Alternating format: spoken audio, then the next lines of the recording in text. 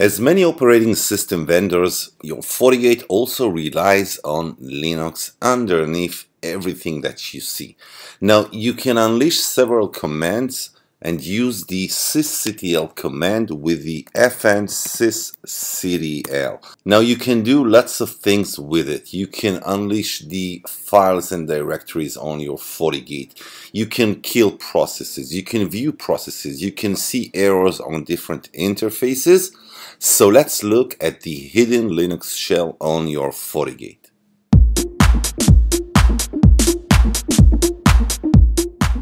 Alright, so let's start. So you can use different Linux commands such as ls to list files and directories, cat to view different files, uh, ifconfig to view the different interfaces, but you will have to use the fn sysctl before.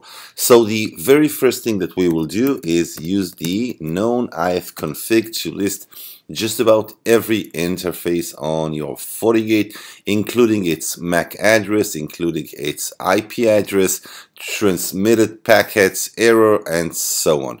Now, if you want to view a specific interface, you will use the same command, but you will uh, uh, choose your interface. So if I'll use port 1, I will see just about everything on port 1. Alright, the next thing that we can do with the FNCTL is to list the different processes that are running on your FortiGate. You can also use it to kill all processes. Now, usually we see processes using the diag sys top, but here you can actually do it using the FNsysctl. Alright, let's stop that. Now, one more thing that you can do is to list uh, the different directories, the different files on your FortiGate, that is using the ls command. Here we can see different directories. We have the main storage data, that is data 2 is probably the flash storage data. Um, let's use it. You can get inside of different directories, different folders. So let's get into the proc folder. The proc folder is actually uh, a virtual file system that is being created by the kernel. So let's continue. Let's use the, again the ls command and this time we will look at the bin folder that actually contains all those executables that are needed uh, during the boot time. So these are all the executables.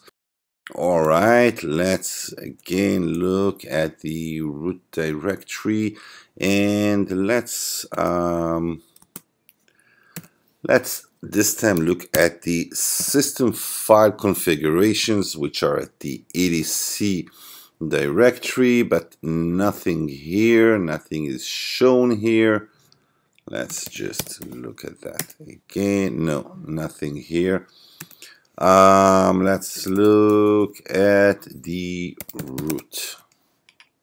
Again, nothing is shown here. Let's look at the var directory. Now, the var folder in Linux is a place where the operating system actually writes data uh, throughout its operations. So let's see if we can see something in the DHCP no or at the storage. No no no. Let's look at the log.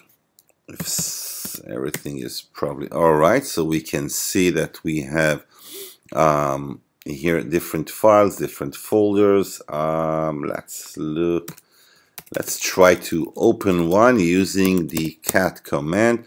So let's uh, just copy this one and let's see. No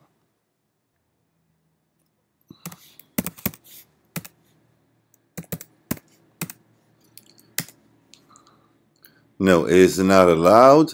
All right. Uh, we can see that we have the DLP fingerprint. That is uh, a checksum that is done on different files that you want to look at when uh, you create uh, a data leak prevention sensor.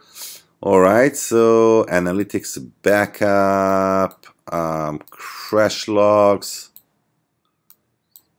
image cache, what memory, what crash log. Again, you can look at the different directories, you can look at the different files. Uh, most of them are actually being regulated. They're all not, they're not allowed to uh, at, uh, but there are several places that you can actually look and get deeper into the file system and the different directories.